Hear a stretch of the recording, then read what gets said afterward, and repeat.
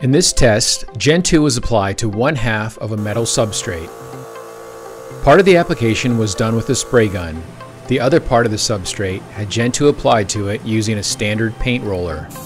After the Gentoo coating dried completely, spray paint was sprayed on both halves of the surface. The paint applied to the Gentoo coated side immediately beaded up. It was clear that the paint was not adhering well to the surface.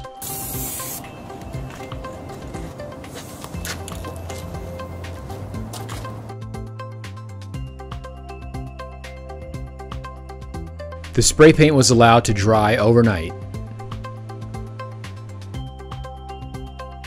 Using xylene, a household sponge, and a shop rag, the paint was easily removed. The same was not true of the untreated side.